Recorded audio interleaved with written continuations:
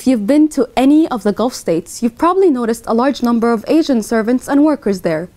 However, it is rare that people there discuss their lives and struggles. Saud Alsanousi, a brave and compassionate young Kuwaiti author, gives that subtle crowd a voice through his bamboo stalk. Good morning, this is Mariam Abu Bakr from Channel 360 with another book review.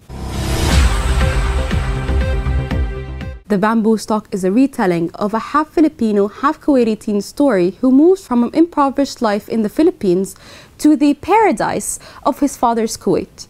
Despite the major differences that exist between the two cultures, the book's depth is reached through the way the writer explains the Kuwaiti society in great detail, in comparison with the Gulf Arabs' relationship to migrant labor. The novel received a wide praise in Arabic, winning the International Prize for Arabic Fiction in 2013. The Bamboo Stalk opens in the Philippines before the narrator's birth, with the story of his conception being told to him by his mother. The prose is so easy and straightforward that it reads like a young adult novel.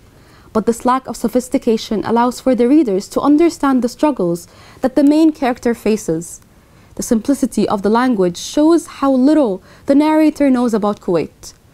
This is helpful for the English language readers, as instead of just explaining what bidun means, which is without citizenship rights, it is explained through the prose.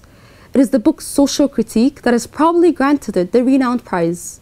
The social critique is obvious as Isa presents the struggles of finding his identity between a Gulf aristocrat and a half poor Filipino laborer. But the most interesting part of the story begins when Isa becomes rich, which brings him great disappointment. The bamboo stalk works against the idea of coming to a rich country and succeeding. In the end, Isa has to choose between a difficult life near his wealthy family in Kuwait and a less wealthy one in the Philippines. Let me leave it at that so that you can enjoy your time reading the novel without knowing the ending.